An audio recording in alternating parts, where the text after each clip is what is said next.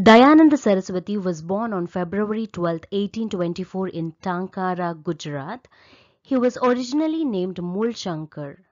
He started questioning life and death concepts at a very young age. Later, when he was asked to get married according to the traditions in the society, he ran away from the house at the age of 21 and wandered all over India, which means for the next 20 years he roamed in many places like temples and holy places where he met many yogis in the mountains and forests. Still, no one could give him the perfect clarity about God, life and death concepts.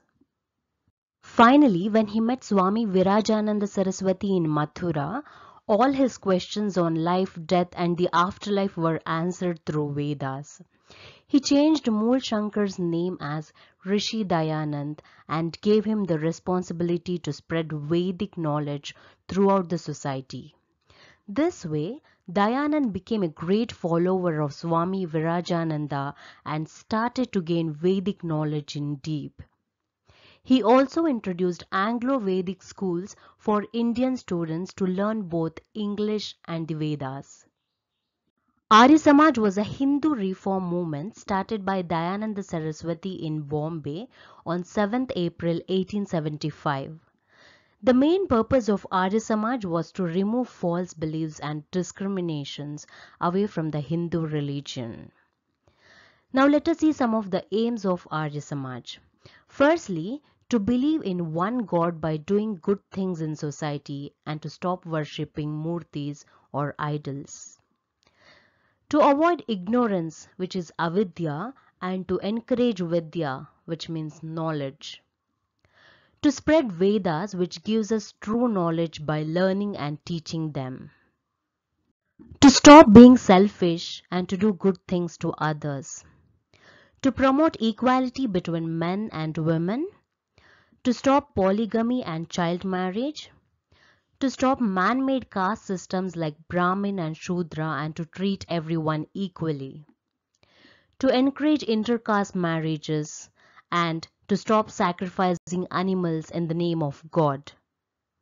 During the 19th century, due to the caste system and other problems, there was a lack of unity among Hindus and many Hindus were getting converted to other religions. And once converted, such Hindus were not allowed to join back the Hindu religion. So, through Arya Samaj, Dayananda Saraswati started Shuddhi movement and started to spread Vedas and educated people about caste equality and others. By taking these steps, he was able to bring back the Hindu people from other religions. Later, when he was invited as a guest by Maharaja of Jodhpur for Diwali, he suggested king on ruling the kingdom with great responsibility and to avoid women-based entertainments in his court. This angered one of the dancers in king's court and served poisonous food to Dayanand.